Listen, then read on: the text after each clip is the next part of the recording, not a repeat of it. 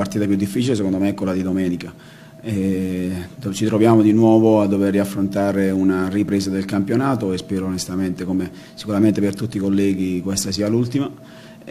Non è facile sicuramente, veniamo da una buona prestazione fatta domenic due domeniche fa a Casarano, però adesso dobbiamo essere bravi noi. Il ragazzo si è presentato bene, ha, si è allenato eh, nella sua ex squadra e si è presentato in ottima forma, quindi già pronto per giocare però con noi si è, si è, aggregato il giovedì, quindi a me non piace improvvisare, dobbiamo capire bene cosa, quale sarà la miglior scelta. Sicuramente farà parte della partita e non ho ancora deciso se farlo partire dall'inizio oppure no, perché abbiamo anche qualche acciacco che ci portiamo fino a domani, quindi le decisioni riguardo alla formazione saranno dovute anche a questo. La squadra, a parte Matuto infortunato, eh, sta bene e per il resto è pronta per affrontare questa partita.